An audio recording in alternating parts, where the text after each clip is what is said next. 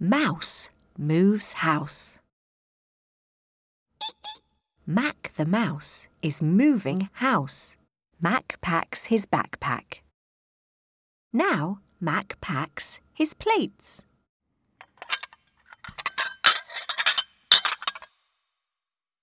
Here is Mac's friend Jack. Together, Mac and Jack pack and pack. Jack packs Mac's knickknacks in a black sack.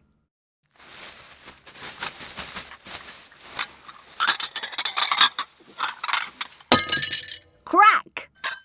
Look out, Jack! It's time to pack the pictures.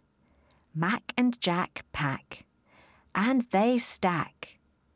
Then they stop for a cheesy snack. Now Mac is all packed. That's that, says Jack. Jack helps Mac put his backpack on his back. Mac opens his door and walks out onto the floor.